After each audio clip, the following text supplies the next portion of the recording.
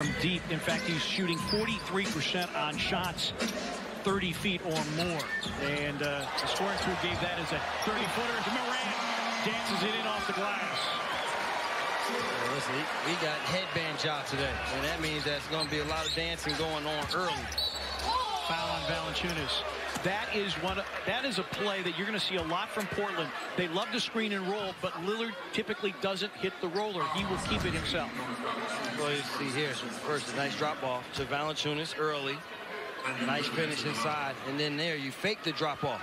And then Morant's able to finish high off of the glass. And you're exactly right.